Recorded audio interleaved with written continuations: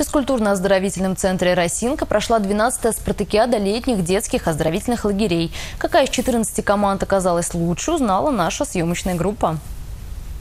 Более 400 участников и их болельщиков собрались в Росинке, чтобы выявить сильнейших в эстафетном беге 4 по 100, шашках в перетягивании каната, а также в стритбаскете среди девушек и в мини-футболе у ребят.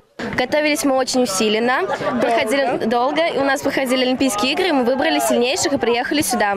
Согласился, конечно, почти сразу. Но готовился, ну, вот эти дни, наверное, недели две.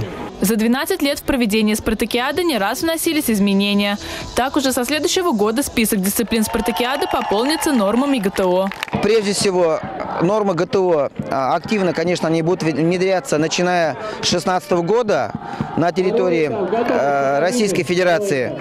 Но, тем не менее, мы решили, э, как экспериментальным таким идти путем, не только будем проводить комплекс ГТО во время спартакиады, будем нормативы внедрять детские лагеря и во время проведения смен. В этом году организаторы решили поощрить победителей. Следующая спартакиада пройдет в том лагере, чья команда победит. Так, в 2015 году соревнования будут принимать в лагере «Космонавт». Ведь именно там оказались самые активные и спортивные ребята. В число призеров вошли команды «Белых камней» и «Звездочки». Екатерина Абрамова, Александр Петров, Республика.